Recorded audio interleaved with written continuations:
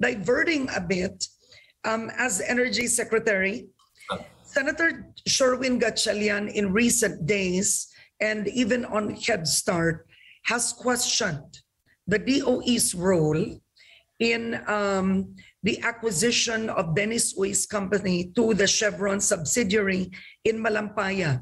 And Senator Gatchalian has recently said that the DOE has bent the rules to approve Dennis Uys acquisition of the Malampaya subsidiary, which is 45%. Um, Secretary, you are known, um, well, you are the party president of the president's party. That's one. Number two, Dennis Uy is known to be a close ally of the president. And yet the DOE is now being questioned for the appropriateness and discretion in which it has chosen uh, Udena for the Malampaya contract. Why Dennis Uy's company? Weren't there other takers? Well, um, let me give you the background, ma'am, on the acquisition. First, uh, there are uh, three issues. Uh, Chevron, Shell, and the probable or possible contract uh, extension. So the first is that let's focus on the Chevron acquisition. The Chevron acquisition, when this was uh, offered uh, for, I think, offered for sale in 2018, if not mistaken, 2018 or 2019, we didn't know about that uh, the invitation that was uh, made, uh, that was issued by Chevron uh, to the possible buyers. And uh, when the uh, Chevron made the decision to do it, uh, to, to award the sale to uh, the company of Dennis Uy, we were notified. Okay? But Chevron is a part of the consortium operating Malampaya. There are three companies. Chevron Company, PNOC EC Company, and Shell Company. Now, what did Chevron what what did uh, sub, uh, Chevron sell to uh, the group of Dennis Uy? They sold the shares of Chevron to Dennis Uy. So uh, there are new stockholders of Chevron Philippines who is part of the consortium. Now, did the entity did the entity no comprising the consortium change? It did not. It only the, the only peop, the only thing that changed are the shareholders, the share owners. But the company remained the same. So, wala po tayong magagawa ron. No? Kaya sabi natin, nagbentahan sila. That is a private transaction. But, but the the same DOE company remained the same. Yeah, but then the DOE, tama kayo, nagbentangan sila. But then what senators had asked you is the Department of Energy, in effect, approved the sale, um, which was not beneficial to the Filipino people. That's that's what Senator Gatchalian was saying because his claim is balu-baluktot ang financial analytics that in effect you've justified the sale considering that the company, um, Dennis Uy's company, should not have been, you should not have, have approved that sale. No, uh, uh, that's that's where uh, that's where nagkakaroon ng confusion po, no? Oo. Because nung magbenta ang Chevron, nagkabayaran sila, no? What the price, the payment, the terms, we're not privy to it. Ni-report na lang po sa amin na the change of ownership into Chevron. No. But there's no change in the ownership of the uh, of the uh, of the consortium.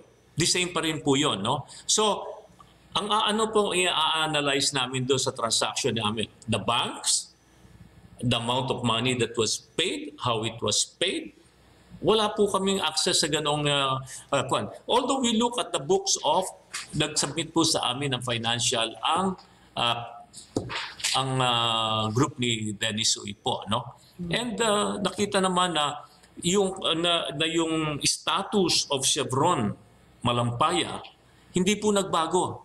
hindi nagbago. In fact, nag-increase pa po ang kanilang ah, financial capability. Nitong Chevron, no? Hindi po nung Chevron ah, Philippines. So, wala pong ah, wala po wala po na ganon. Ngayon ang question lang po, eh kung hindi po ba ito si Dennis Uy, magiging issue po ba ito? Because there are companies that are trying to sabotage that sale of Chevron and uh, Dennis Uy. L- Like fact, which companies? So you're saying it's these companies who lost the sale that are trying to sabotage this? No, there there there are people that wa- wanted to buy it, but they were not able. It's not us that will uh, that will determine the buyer. It is the seller, Chevron, that was selling the shares. So nabili po ni Dennis o yun. Ngayon, there were there was a company that was going after that Chevron, and in fact approached PNOCEC E that they will fund it if they will match the offer of uh, of uh, Chevron, and which we cannot do under the law. So, sab- ako ako, imbestigahan nila bakit na gano'n ang offer yung co- company na yon. Kasi, ngayon, kung hindi nga po ba ito si Dennis Uy, will that question be the same?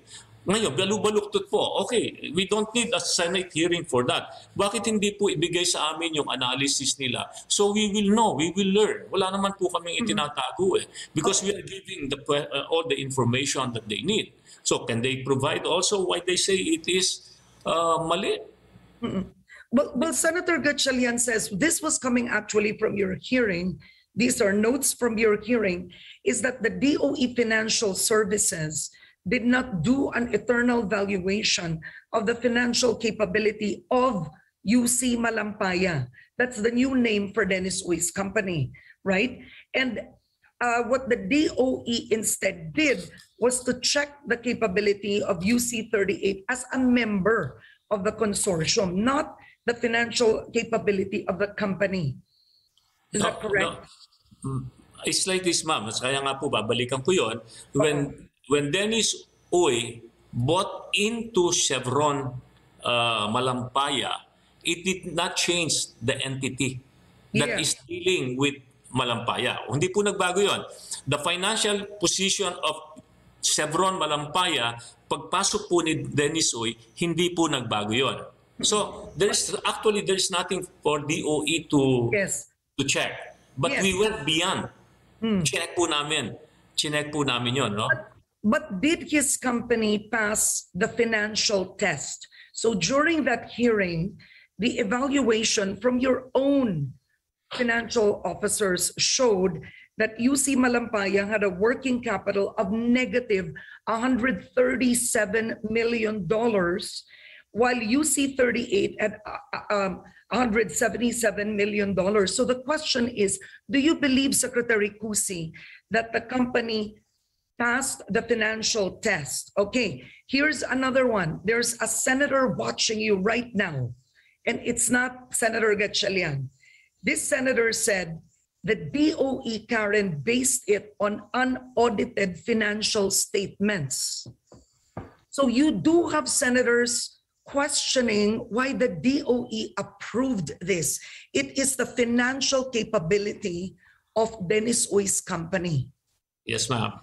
Now, Were were it, was it unaudited? The financial statements of Dennis financial company. statement. Kaya nga po, ganito. Uh, ganito nga po, ma'am, yun, ano? So, again, sasabihin natin, this is using, uh, this is Malampaya. Use Chevron Malampaya.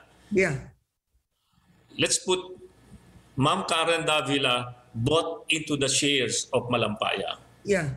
Okay? When you bought the shares, did the financial statement of use uh, of Chevron change? It did not. Okay. It is only the The shareholder. Owners. Oh, it only the only nagbago po is the owner. So kung sinasabi natin na this is this company has a 100 million capital, nung pumasok po ang new owner, that remained 100 million. I get you there. Uh-oh. Okay. But, but Secretary, do you see the concern of people given that number one, you are leaving office quite soon when the president leaves? And I know, yes, you had nothing to do with the sale. You've made that clear.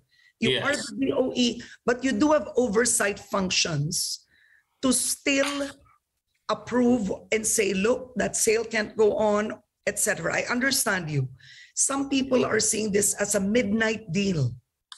Ah, hindi nga po um, ma'am uh, midnight yun eh. no? We are in we are evaluating two books. The book of Chevron Malampaya. The current uh, the previous uh, owner. We are evaluating that. Nung pumasok po ang new owner, that book remain the same. Okay? Pareho rin po. Ngayon, what we are looking at naman dito is another book. The book of the new shareholders. Parang tiningnan ko po yung inyong uh, uh, financial uh, capacity as a new owner, as the new shareholder of uh, Chevron. So sinasabi natin, eh, ay kapital lang, kapital lang nito is 30 million. How are you able to buy this? Eh, The transaction is between the banks, the financial, how they were, how they discuss it, in terms of payment, how they were able to uh, to come into conclusion of selling it. It's it's beyond our purview. Ang tinitingnan lang namin, tiningnan namin ang libro po ng Chevron, tiningnan po namin ang libro ng new owner. And they pump in that additional money. So in effect, ang Chevron Malampaya po mas tumatag mas tumatag as member of the consortium. In fact, hindi po kami duty bound. Yun ang sinasabi po ng aming uh, financial. No?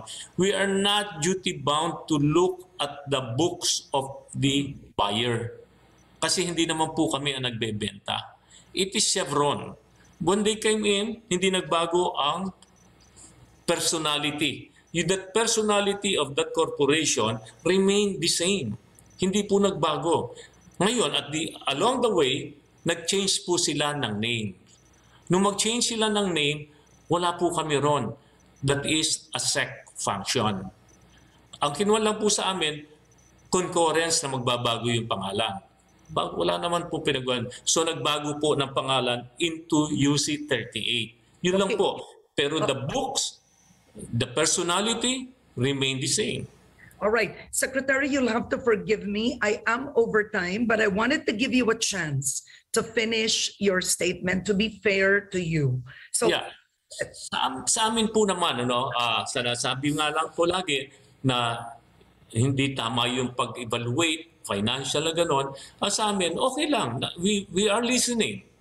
Ah, we want to understand where they coming from. They give us their analysis and we will we will look into that. But what we are requesting is also understand from where we are coming from, what our authorities, what we can do, and what we cannot do.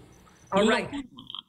okay, Secretary Kusi, thank you so much for joining me on the Get Start today, both on politics and the issue of Malampaya. Thank you, sir. I appreciate it that you came to the show. Thank you. Thank you, ma'am. Thank you. And pasensya na po if uh, hindi Thank na you. explain. Thank you very much. No problem. Thank you. That was Energy Secretary uh, Alfonso Cusi.